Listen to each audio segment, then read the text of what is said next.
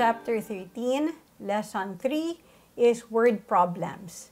So which means now we're using the same formulas, but instead of just looking at a single figure, it's a combination of things with words.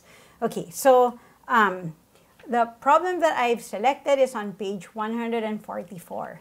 So it says in the problem, the figure shows a rectangular field with a path 2 meters wide around it.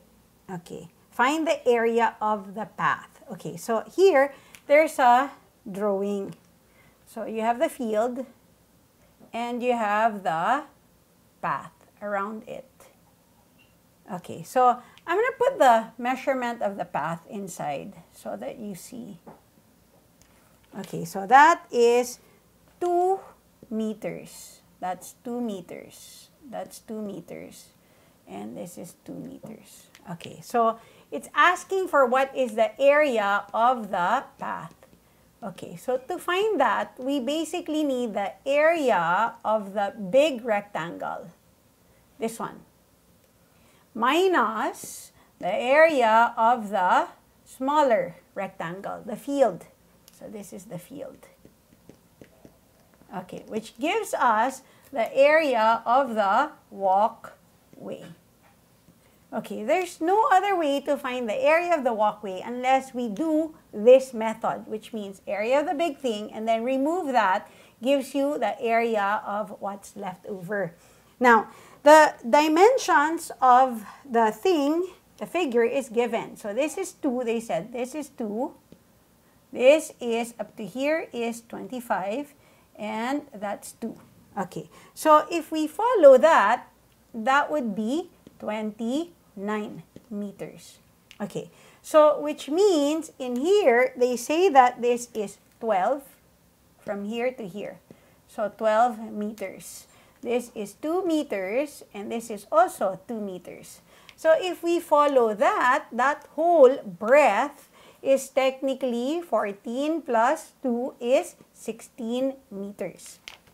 Okay, so which means the area of this rectangle would technically be the length if I wrote it down as 2 plus 25 plus 2 multiplied by the breadth, which is technically 2 plus 12 plus 2. Okay, then I'm going to subtract the area of the field.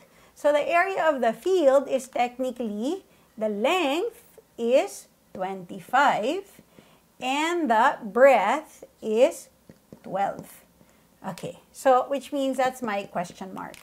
Okay, so this is 29 times this is 16.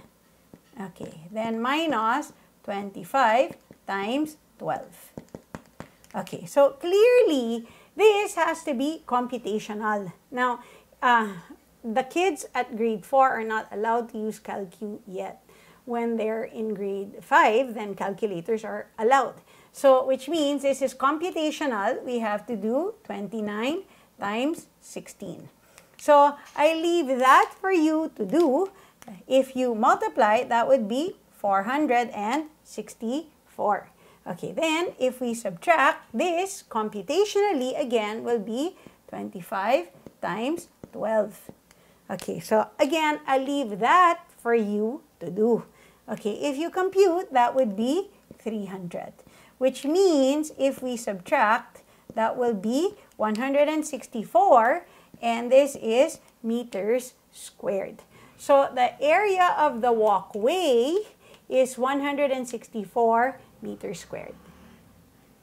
That concludes lesson 3 of chapter 13, which also concludes the chapter.